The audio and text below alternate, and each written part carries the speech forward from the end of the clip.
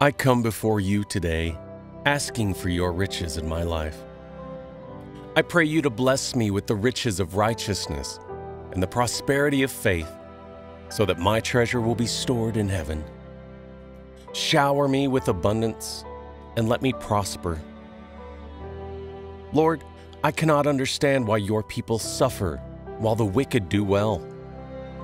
Therefore, let me find favor in your eyes.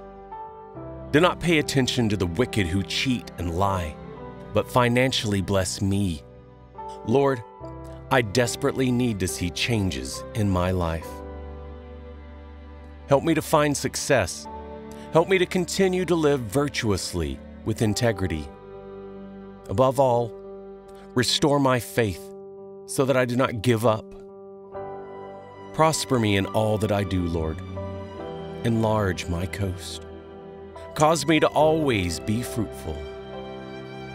Supply all my needs according to your riches in Christ Jesus. I declare that I am financially blessed in Jesus' name. I am more than a conqueror. Thank you, Lord, for your abundant riches and prosperity.